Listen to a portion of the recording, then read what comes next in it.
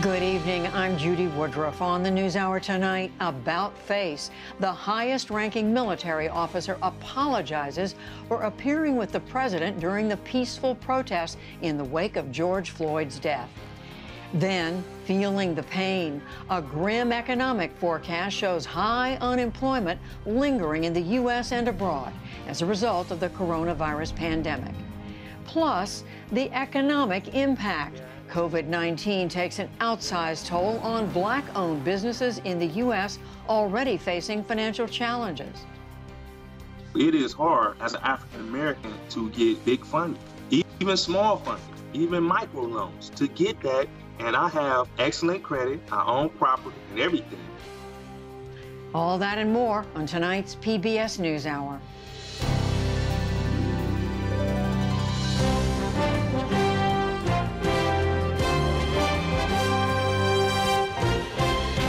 Major funding for the PBS NewsHour has been provided by Life isn't a straight line, and sometimes you can find yourself heading in a new direction. Fidelity is here to help you work through the unexpected with financial planning and advice for today and tomorrow. Consumer Cellular. Financial services firm Raymond James. Johnson & Johnson. The Kendeda Fund, committed to advancing restorative justice and meaningful work through investments in transformative leaders and ideas. More at kendedafund.org. Carnegie Corporation of New York, supporting innovations in education, democratic engagement, and the advancement of international peace and security at carnegie.org.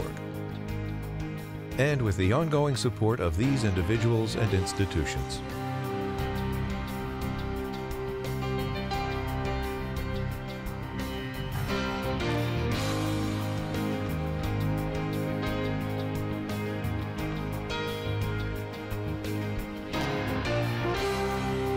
This program was made possible by the Corporation for Public Broadcasting and by contributions to your PBS station from viewers like you. Thank you. There is a split tonight between leading U.S. military leaders, current and former, and the president. The country's top military officer, the president's chief military advisor, has rhetorically broken with the commander in chief over his role in a controversial event last week. Nick Schifrin explores this critical moment in relations between the military and the White House. Judy, last Monday, President Trump walked out of the White House to pose for a photo outside of a church that had been slightly burned by protesters.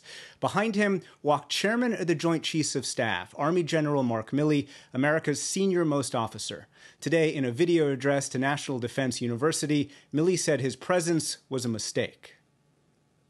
I should not have been there. Guys, I do not have. My presence in that moment and in that environment created a perception of the military involved in domestic politics. As a commissioned uniformed officer, it was a mistake that I have learned from, and I sincerely hope we all can learn from it.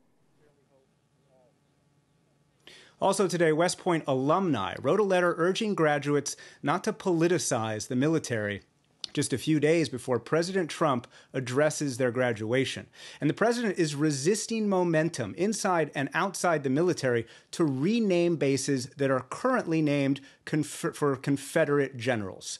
With me to discuss this critical moment in civilian military relations is retired Lieutenant General Ben Hodges, who most recently led U.S. Army Europe and has known General Milley for 20 years. General Hodges, welcome back to the News Hour. Why was it a mistake for General Milley to walk with the president as part of a photo opportunity? Well, Nick, thank you. Uh, Mark Milley uh, recognized that uh, he had let himself get into a, a political situation uh, where he became a prop, actually, and uh, therefore played into the situation where you had military getting involved in a, in a diplomatic, excuse me, in a domestic situation. And that was the mistake, and of course, that's what he acknowledged today. And Milley says that he didn't know he was walking toward that photo opportunity. Should he have figured it out earlier? Should he have turned around? Yeah, I think part of what General Milley uh, acknowledged in his uh, uh, public uh, apology today was that he, as a senior leader, knows that people are always watching him. Um, he knows that he has a, an important constitutional role and um, that he should have been more aware. I mean, given all the events of the past several days, uh, the fact that he was in the Oval Office there, uh, meeting with the president and with the secretary and others, um, and then knowing what was going on outside, what we call situational awareness, he acknowledged that he should have been more alive to the possibility of what could happen. Same thing for being in the uniform. Um, you know, in hindsight, clearly uh, the image of him being in that uniform uh, sets a tone. Not intended, and that was what he apologized for. His his mistake was that he should have been more aware of these kinds of things, and frankly recognized that um, in this sort of uh, set of personalities that he would be used. And of course, part of this tension is that the president threatened to use active duty military troops to quell some of the protests, some of the violence in the United States. Why have so many military officials, Milley included, retired and active duty, resisted the idea of using active duty inside the United States?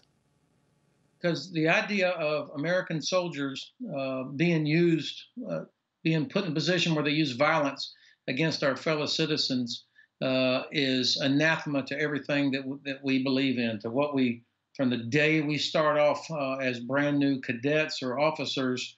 You're, you're trained to respect civilian authority and to protect our fellow citizens. That's the, the oath uh, that we take. And so the idea that somehow soldiers would be put in a position, regular Army soldiers put in a position to use violence against our fellow citizens uh, just is repulsive to all of us. And, and that's why you've seen so many people come out and say things. And generally, you know, even retired generals and admirals, we prefer not to get involved in things like this that are political because of this tradition of apolitical military. But this was so uh, such an egregious situation, clearly not something calling for implementation of the Insurrection Act. The president had not made the case for that at all. Uh, and so I think because of the tradition of an apolitical military, that's why the the words of people like General Mattis and uh, uh, Colin Powell and others have had such resonance. Um, let me give you some examples of forts that whose names we all know: Fort Bragg, Fort Benning, Fort Polk, some of the most famous military installations in the country, all named after Confederate generals is the military and its leaders beginning to acknowledge that, that they need to do better when it comes to race? Yeah, this this is um, this is going to change these uh, installations, and I have to tell you, I'm embarrassed. Uh, you know, of course, I went to Fort Benning, I've served at Fort Bragg, Fort Campbell, all these places, and while I often thought it was kind of unusual, I never thought deeply about it. And it was probably only about three years ago that I had sort of an epiphany that um, while it didn't seem like a big deal to me, it would be a big deal to others. And now I'm, I'm embarrassed that it took me so many years to realize that this makes no sense. I mean, the more I think about it, the more um, indefensible it seems. These are not traditions dating back to the Revolution. Most of these forts uh, were camps that were established uh, just before the First World War or the Second World War for training and mobilization. So there's no long patriotic sort of uh, legacy there that needs to be defended. I've um, I think we the Navy has a good model where they just name the base after the town. Um, I would also recommend, though, um, I, I, always believe in building something, something positive, versus always tearing things down. And uh, what a powerful statement it would be if there was a monument next to any Confederate statue or any of these sort of legacy things um, that listed the names of all the former slaves who joined the Union Army uh, during the American Civil War at huge risk to themselves. Uh, thousands were killed. Um, to to have that monument there with those names next to an old legacy sort of statue, what a powerful uh, statement that would be about the values that we really actually do uh, believe in. Retired General Ben Hodges, thank you very much. Nick, thank you.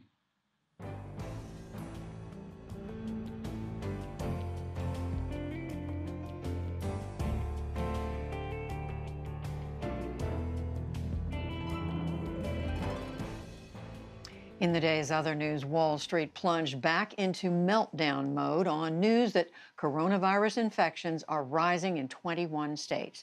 The Dow Jones Industrial Average lost well over 1,800 points, nearly 7%, to close at 25,128. The Nasdaq fell 527 points, and the S&P 500 dropped 188. The sell off also came as another one and a half million Americans file for unemployment benefits. We'll take a closer look after the news summary. The pandemic is also continuing to surge in other countries. Cases across Africa doubled to 200,000 just in the last 18 days. Brazil and India have reported spikes in infections as restrictions ease. And the World Health Organization urged vigilance today most people remain susceptible to this virus, and the threat of re a resurgence remains very real. All of us have a part to play in protecting ourselves and protecting others. Globally, some 7.4 million people have been infected. Nearly 3.5 million have recovered so far. Back in this country, protesters are pulling down more monuments linked to white supremacy. Overnight, crowds in Richmond, Virginia toppled a statue of Confederate President Jefferson Davis. Protesters in St. Paul, Minnesota and Miami targeted statues of Christopher Columbus.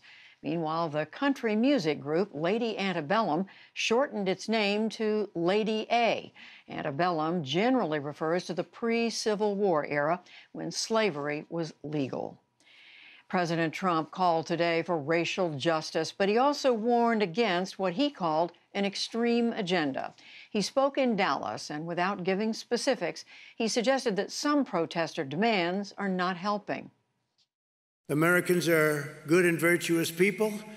We have to work together to confront bigotry and prejudice wherever they appear, but we'll make no progress and heal no wounds by falsely labeling tens of millions of decent Americans as racist or bigots. The president also drew criticism for planning a campaign rally on June 19th in Tulsa, Oklahoma. The day is known as Juneteenth and commemorates the end of slavery. And Tulsa was the scene of rioting by whites in 1921 that killed hundreds of black victims. Former Vice President Joe Biden says he is worried that President Trump will try to, quote, steal the November election. Biden has wrapped up the Democratic presidential nomination. He spoke last night on The Daily Show with Trevor Noah. It's my greatest concern, my single greatest concern. This president's going to try to steal this election. This is a guy who said that all mail in ballots are fraudulent. Biden also said that the military could be called on to escort Mr. Trump out if he loses the election but refuses to leave office. And the United States is moving to impose sanctions on the International Criminal Court for investigating alleged U.S. war crimes in Afghanistan.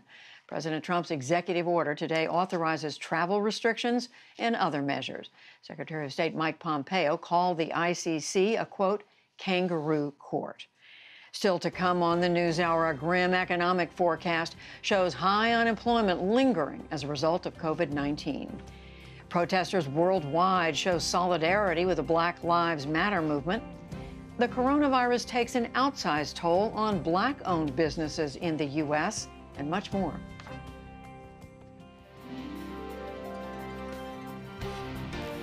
This is the PBS NewsHour from WETA Studios in Washington and in the West from the Walter Cronkite School of Journalism at Arizona State University.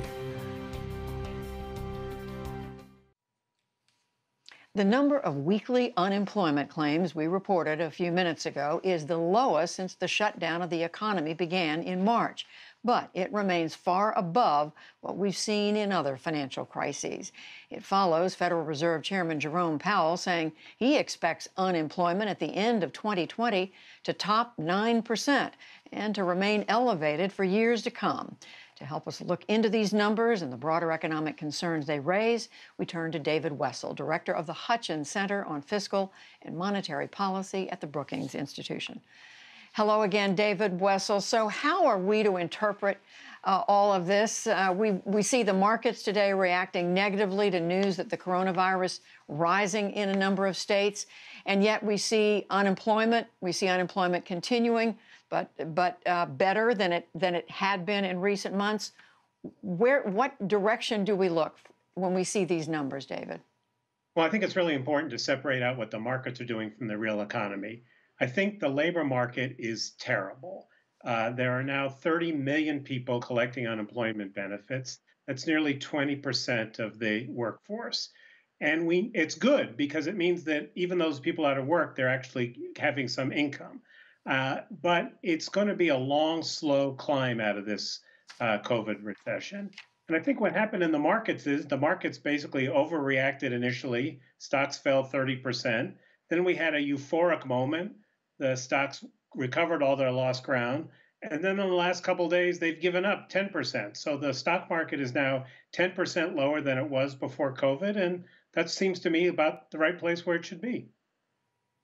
And then we have, as we mentioned, uh, the chairman of the Federal Reserve, uh, Jay Powell, saying he expects unemployment to be over 9% uh, still by the end of this year, only slowly coming down. Um, Americans can't be excited about that. Right. I mean, I think that uh, Chair Powell was trying to do two things. One is be realistic with the American people, explain to them that we're not going to come out of this quickly and secondly, put some pressure on Congress to do something. We can have lower unemployment by year end if we get more help from Congress. That was the chairman's message, I think. So, so sending a, um, a, a, signal to the Congress. David, I also want to ask you about this census survey of small businesses, first week of June, showing that fewer small businesses, while fewer of them are cutting um, hours, in all, more of them are cutting than increasing. Um, it, how do we read that? Right. So, one of the things, and I'm sorry, I think I probably have a bad connection. I apologize for that. One of the good things that's happened at, at the Census Bureau is they've been doing these weekly surveys of households and small businesses. And they, it's a sign of just how bad things are. Twice as many small businesses cut hours in the first week of June 26%, then increase them 12%. So it's it is we are not out of the woods yet. And even though we see this modest improvement in the job market, it's really hard to overstate just how bad the economy is and how hard it's going to be for us to recover from this because people are going to be reluctant to spend, businesses are going to be reluctant to reopen. How many of us are going to get in an airplane in the next few months? This is going to be a long, slow slog. And David, um, economists have been saying it's going to take a vaccine, it's going to take some dramatic piece of new information or science to make people feel more comfortable. Is that still uh, what the economists you talk to are saying? I don't think we really know how people are going to behave. This is such an unusual event. So we see now that people seem to be getting a little impatient with the lockdown. And so we'll have to see do people uh, come out of their houses? Are they willing to go back to the malls?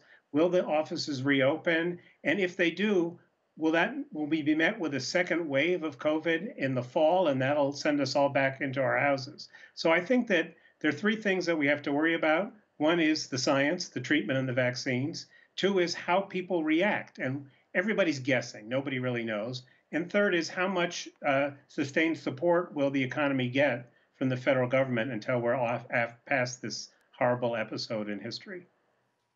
Well, I know people want answers, and uh, uh, what we're hearing is it's just hard to come up with uh, definitive answers right now. We just keep paying close attention. David Wessel, thank you so much. You're welcome.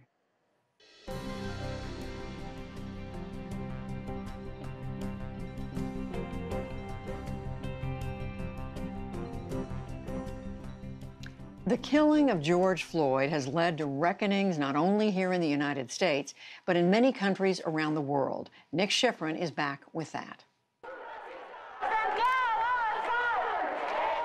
From Madrid to Tokyo. From Sydney to Seoul, George Floyd's death has sparked a worldwide reckoning.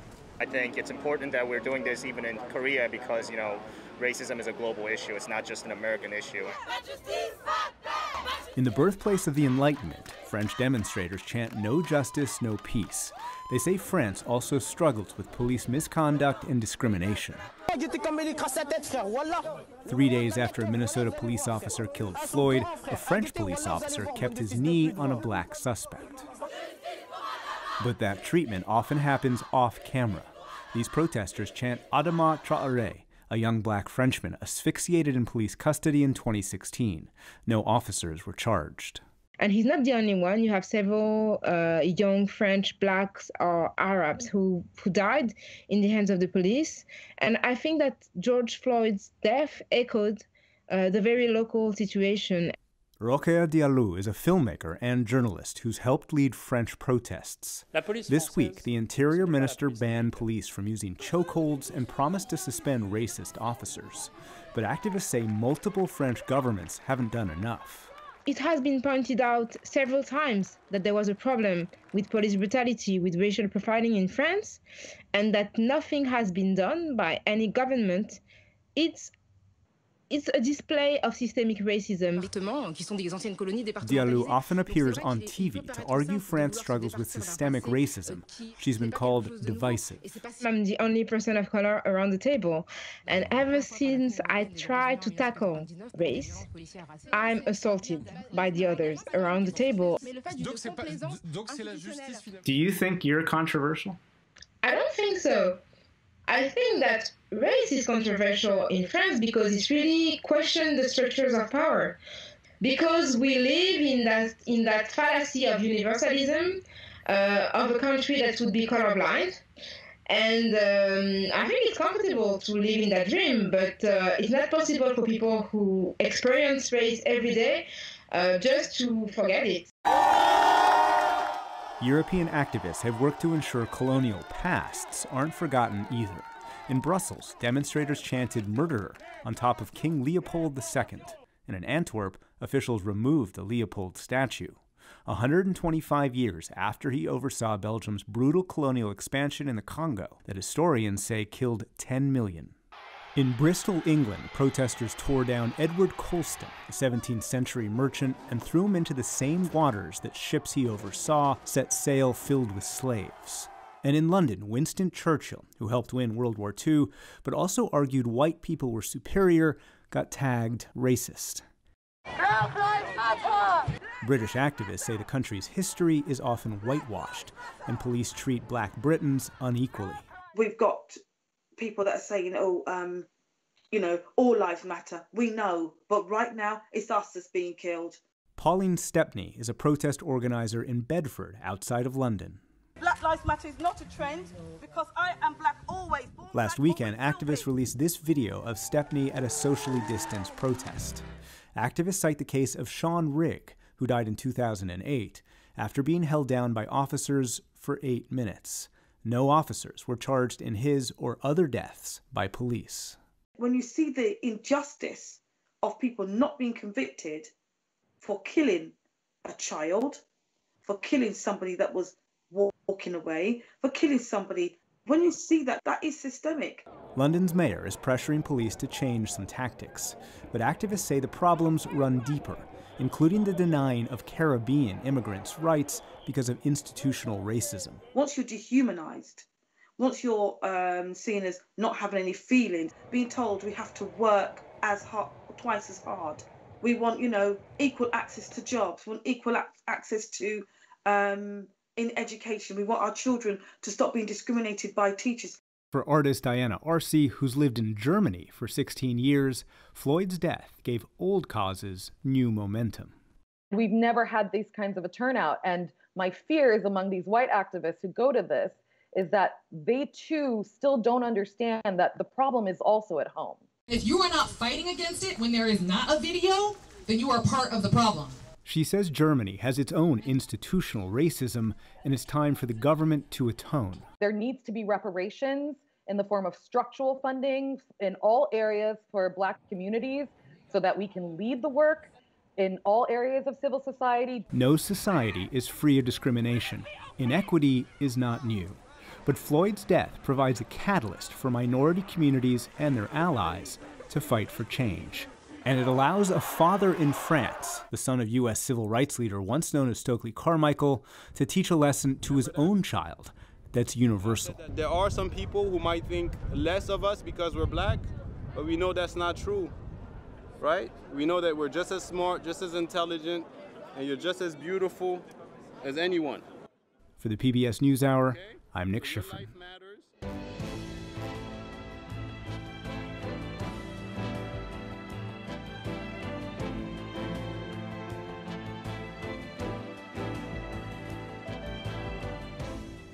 As we've been hearing this hour, shutting down the U.S. economy over the coronavirus outbreak came at enormous cost to American businesses. But as Paul Solman reports, the impact on African American entrepreneurs has been especially harsh.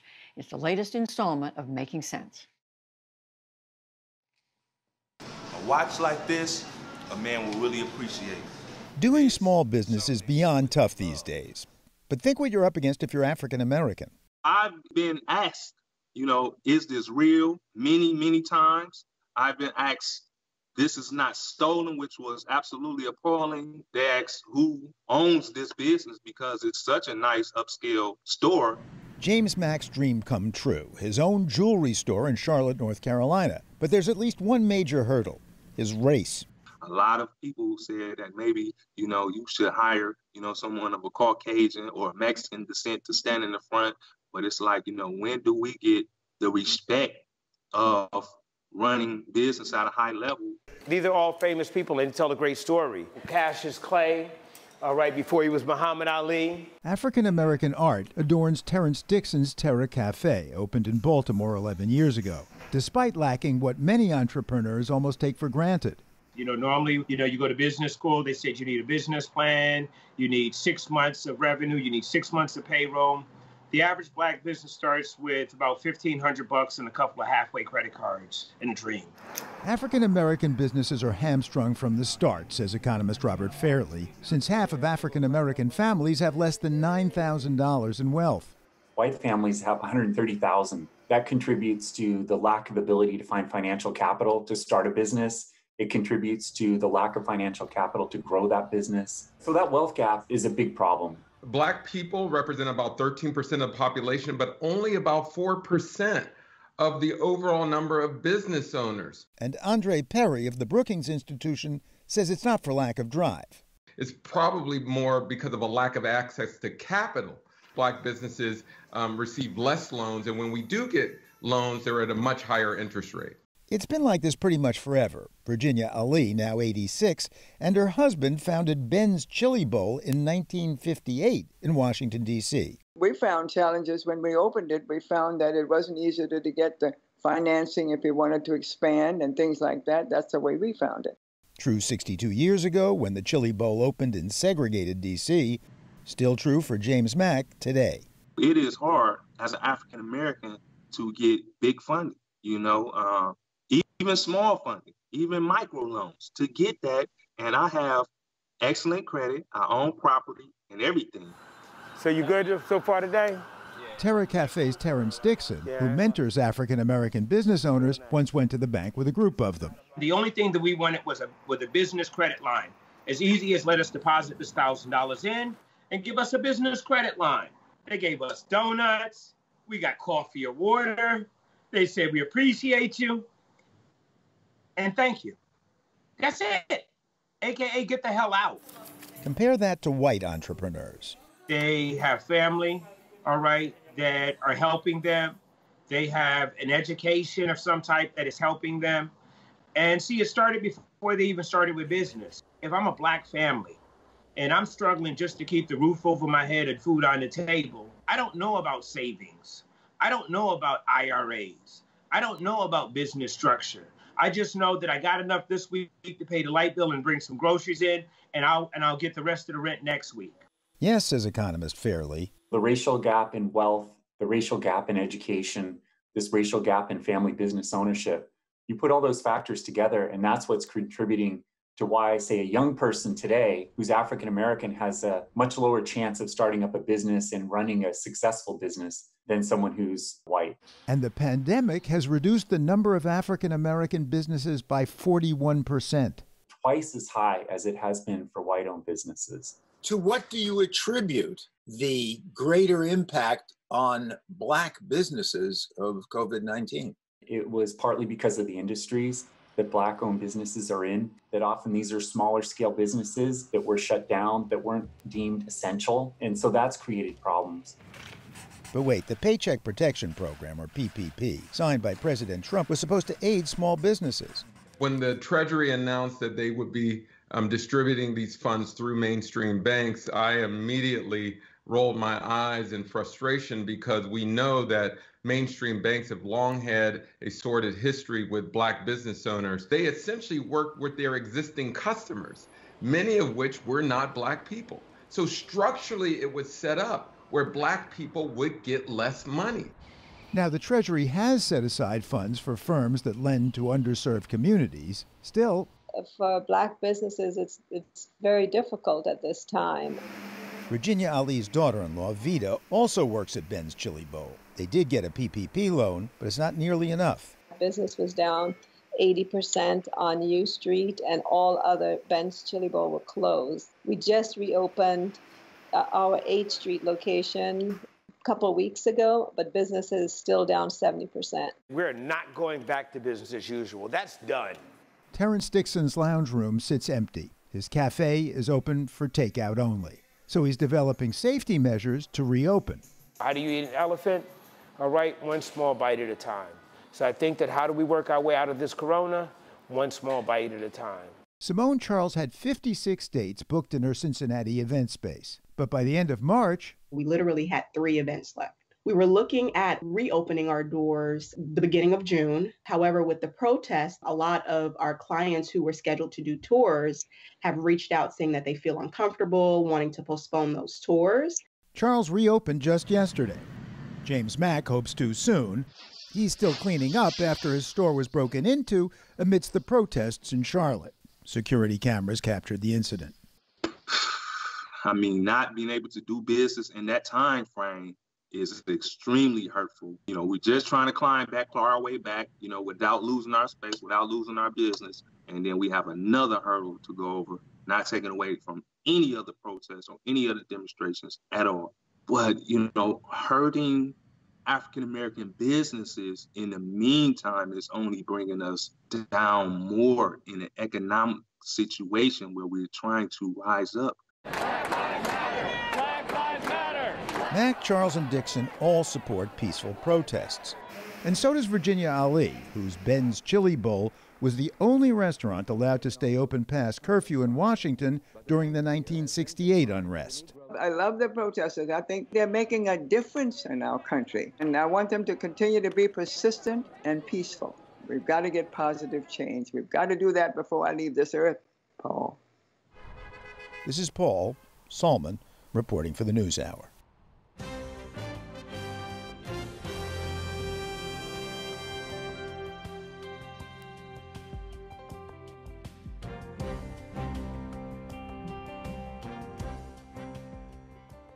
Stay at home orders posed a challenge to all of us, but especially to Americans who struggle with addiction and rely on the support of in person recovery meetings. And many others found their alcohol habits changed drastically during the pandemic. William Brangham looks at the impact COVID 19 has had on American substance use and the consequences that could long outlast the virus. This week has been challenging. I found myself having an unexpectedly strong urge to drink yesterday. This is what a recovery meeting looks like in the age of social distancing. It's been kind of difficult um, in having urges and cravings um, to drink. Groups like this one, for people struggling with substance abuse and addiction, have been forced to move online. These are members of what's called Smart Recovery. It's an Alcoholics Anonymous alternative, and these people all agreed to be recorded. I have been dealing with the uh, quarantine um, in a rather negative way with my anxiety and panicking, and I am fighting off a lot of urges. Separately, one member of AA, Reagan Reed, decided to depart from that group's anonymity policy to speak personally about the challenges posed by coronavirus. We had to find a way to literally bring all of Alcoholics Anonymous online, uh, and we did so uh, via Zoom. It's been a big challenge for everyone to sort of adapt to this new way of, of uh, maintaining sobriety. Um, but then also, you know, the whole other side of it has been the enormous amount of, of uptick of people reaching out to us, people who have drinking problem who uh, are home and isolating, um, particularly those essential workers. In person meetings are the foundation of recovery programs like Alcoholics Anonymous. They provide a connection that is now sorely missed.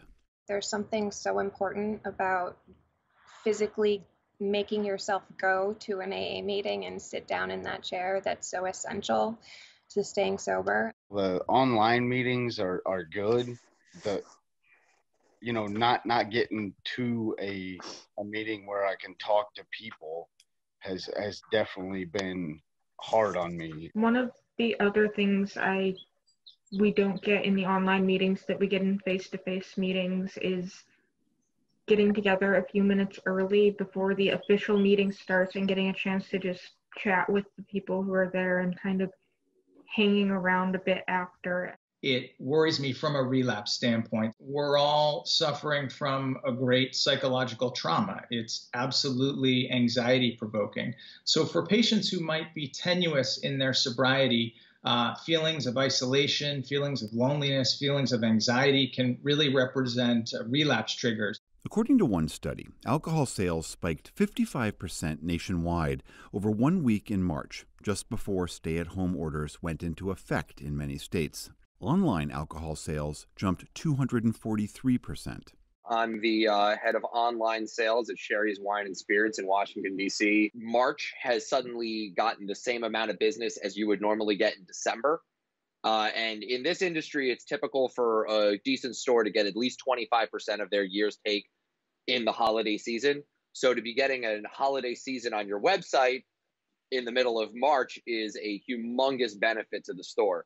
Of course, most of this spike in alcohol sales likely comes from so many bars and restaurants being closed across the country, not because of people with abuse or addiction problems. Having so many Americans locked up inside their homes is changing people's drinking patterns. Justine D'Souza is one of many who say their drinking habits expanded from weekends to weeknights during the lockdown. I was used to having a lot of activities after work, so I would have rehearsals. I was very involved in the performing arts scene locally. I had never really had too much time before with all my activities to sit down in home and have a glass of wine. And so, you know, I guess my thought was sort of like, okay, now I have nothing but time after work. Austin McMullen said he started drinking more after he became one of the millions who lost their job because of the pandemic. There's nothing really else to do.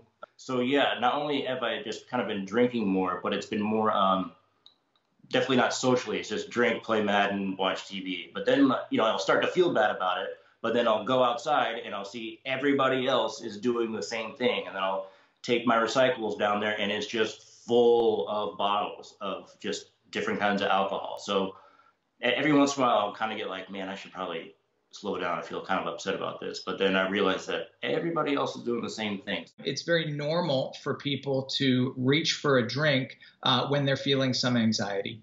But because of the physiology of alcohol tolerance, the patient needs to drink more and more in order to achieve the same desired effect.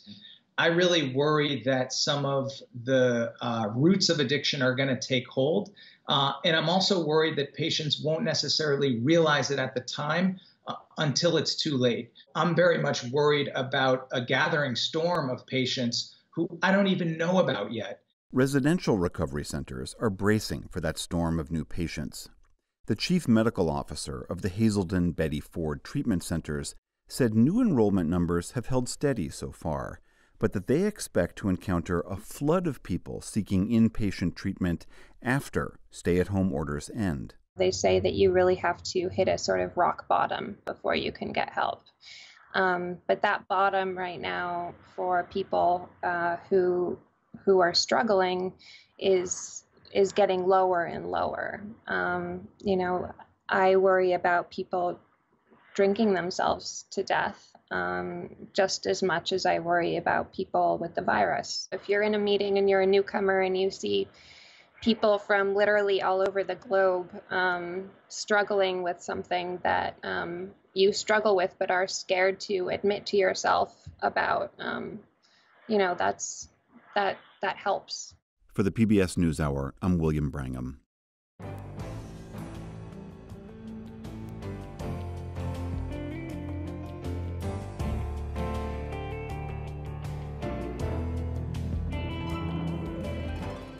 It was two years ago when the 240 year old American Academy of Arts and Sciences put together a bipartisan commission to take a hard look at the state of our democracy. The commission is today issuing a report detailing 31 recommendations on how to strengthen it. Full disclosure, I'm a member of this commission, and while I'm very much for a stronger democracy, I do not advocate for any specific policy changes. Here's a look now at what the Commission found. These recommendations are meant to take a fresh look at our founding ideals and documents. The Commission first defined the challenges our democracy is facing rising inequality, political polarization, a surge of white nationalism, a lack of trust in our nation's institutions, a fragmented media environment. To those challenges, it offers solutions broken down into broader themes. One theme is aimed at equality of representation, changes that would address governance. The report recommends substantially enlarging the U.S. House of Representatives, establishing 18 year term limits for Supreme Court justices, and big changes to campaign finance laws. It also calls for so called ranked choice voting, where voters rank candidates in order of their preference for elections at the federal and state level. And it sees room for improvement in how we vote. The Commission recommends switching to universal automatic voter registration. It says federal election day should be a holiday. And it recommends making voting a requirement of citizenship, much like jury duty. It also wants changes in how we get information like a tax on digital advertising that would go to a public media fund. And it calls for a culture change towards service, with Americans putting in a year to serve in programs like AmeriCorps, the military, or other nonprofit work. All this is just a starting point. The Commission says it wants this report to be a call to action and for the recommendations to inspire debate.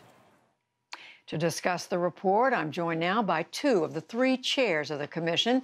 Danielle Allen, she's a political theorist and a professor at Harvard University. And Stephen Heintz, he is president and CEO of the philanthropic foundation, the Rockefeller Brothers Fund.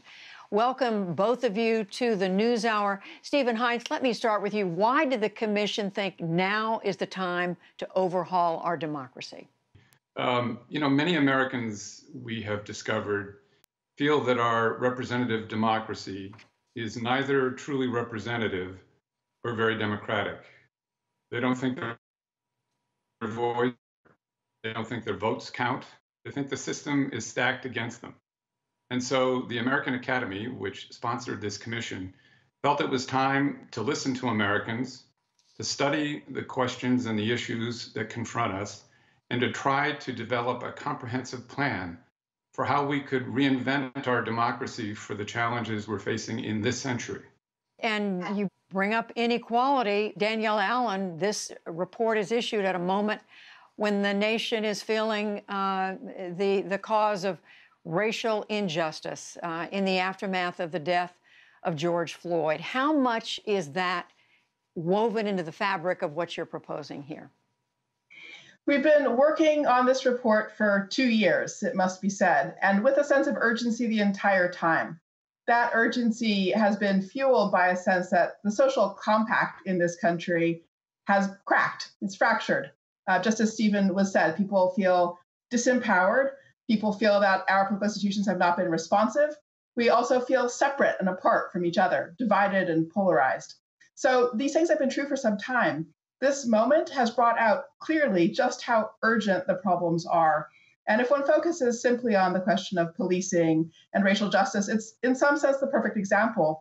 People have been pursuing change for a long time, but certainly with renewed energy since 2014, uh, with the death of Michael Brown and others. And although there have been some successes for reform here and there, fundamentally, what we've had to take away is that our political institutions have been non responsive. So at the end of the day, what we are watching now as people come together is a rediscovery of common purpose, a rediscovery of the goal of securing liberty and justice for all, and a recognition that achieving that does require knitting together responsive institutions, genuine opportunities for empowerment, civil society organizations that connect people across lines of difference, and healthy information ecosystems that help us all do our work as civic participants. Stephen Heintz, at such a, a, polarized moment in American history, how are people to believe that this is truly a set of bipartisan ideas? Well, from the very beginning of our work back in 2017, we were committed to recruiting a very diverse group of commissioners from all across the country and people with different backgrounds, different experiences, different political perspectives, and partisan ideologies. The one thing we all shared was a love of country and a concern about our democracy. And we worked together for two years. We studied our data, we did the analysis, but the most important thing was to listen to Americans all across the country. And we benefited from their experiences of how our democracy has enduring strengths, but how it is also leaving us with unmet promises. Danielle Allen, um, audacious, bold ideas, increasing the size of the House of Representatives by 50 more members, putting an 18 year term limit on Supreme Court justices. Many people are going to look at this and say, can this really happen? What are you trying to accomplish here?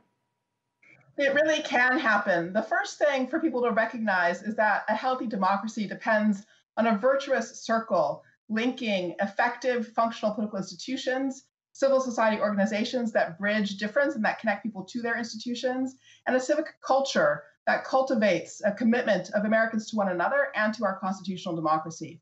So our our recommendations are not just a sort of hodgepodge, uh, sort of you know grab bag of policy ideas. They're very considered things that interact with each other. So, yes, a requirement for universal voting, but at the same time, a recommendation to make voting easier. And across the slate of our recommendations, there are champions for all of them, people who are already working hard on these things. We spent a lot of time actually evaluating feasibility. We also sought to make sure that the actions could be moved forward on many levels of our system. So there are some things that municipal leaders can move forward, some that state leaders can move forward, some that require actions by Congress. Only one constitutional amendment. That was our goal, was to try to avoid constitutional amendments wherever possible. So that one we do think we need with regard to issues of campaign finance. But for example, even the change with the Supreme Court term limits, that is a change that can be made within our existing constitutional parameters and across the board, we saw a pathway of implementation that was highly aligned with feasibility, taking 2026, the 250th anniversary of the nation's political birth, as our target. So, Stephen Heintz, 31 recommendations. Priority, what do you start with here? What do you, what do you say to the American people? These are our priorities. Well, I think what we're saying to the American people is that we're issuing an invitation to them to pick the recommendations that mean the most to them and to begin to work together on them. We're not establishing priorities for them. That's the work of the citizens of our country. We're offering them a comprehensive plan. We think all the recommendations should be carefully debated and expanded on and developed in the years ahead. But I want to stress one thing about the challenge here. We are at a moment, I think, where there is greater receptivity to change and a greater need for change.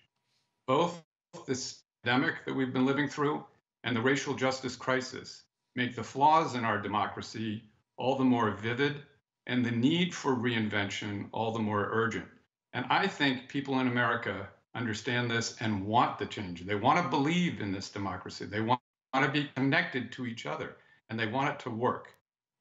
And Danielle Allen, finally, that was going to be my question. Do you believe American, the American people are receptive to these kinds of ideas right now?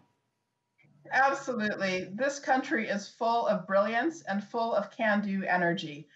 The most inspiring part of our work was listening sessions all over the country and the opportunity to see the ways in which people are already rebuilding political institutions, rebuilding trust in their own community, inventing forms of civic media that can be antidotes to the corrosive effects of social media, for example. So, yes, the American people is hungry for this. The American people is full of ideas, full of can do energy. I am 100% confident that we can bring about the transformation that we all desperately aspire to. And Danielle Allen, finally, uh, where do the, where do people go if they want to read this? The website is amacad, that's short for American Academy, backslash our common purpose. All right, we are going to leave it there, but we thank you both so much for joining us, uh, two of the co-chairs uh, of this commission uh, on strengthening American democracy. Danielle Allen, Stephen Heintz, we thank you both. Thank you so much, Judy.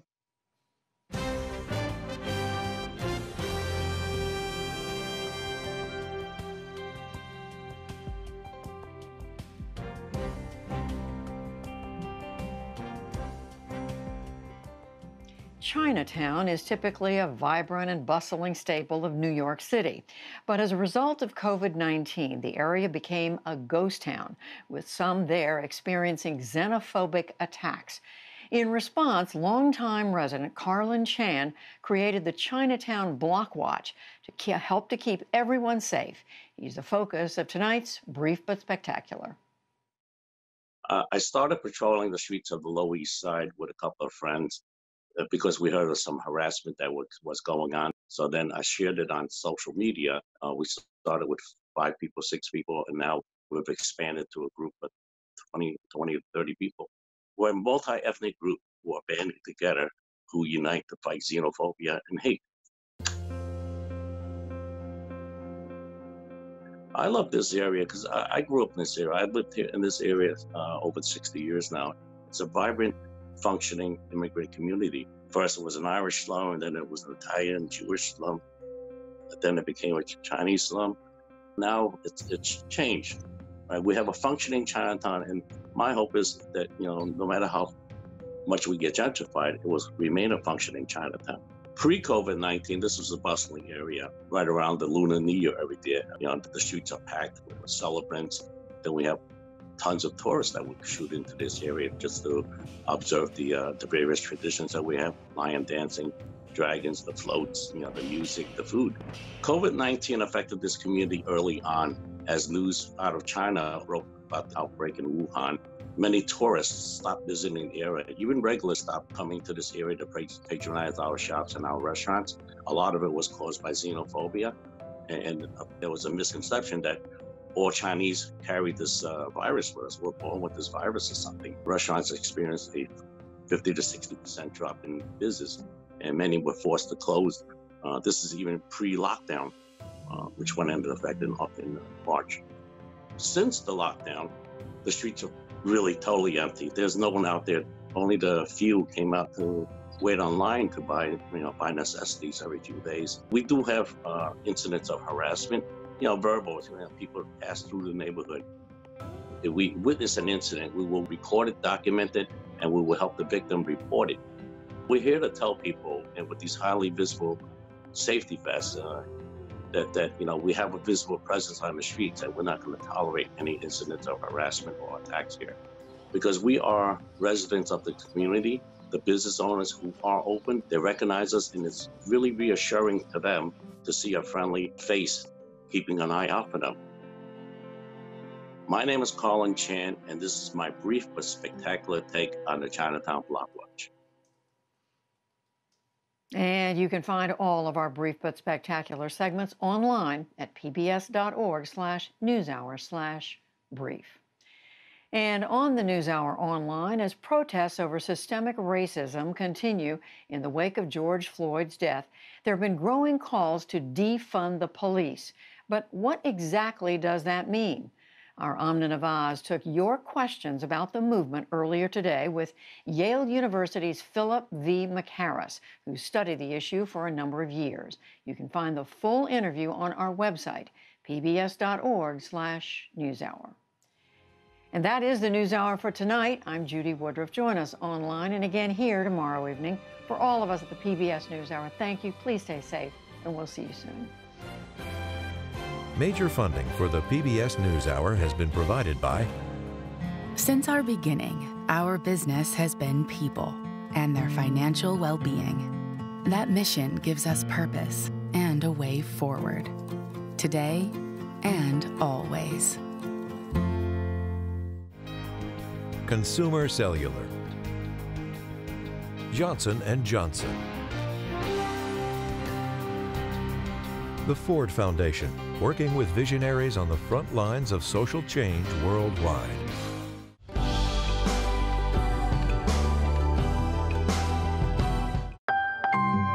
The Alfred P. Sloan Foundation, driven by the promise of great ideas. And with the ongoing support of these institutions.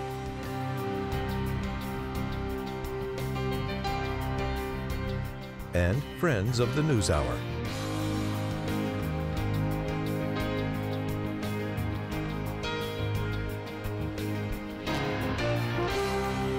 This program was made possible by the Corporation for Public Broadcasting and by contributions to your PBS station from viewers like you.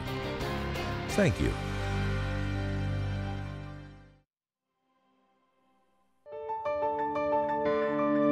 You're watching PBS.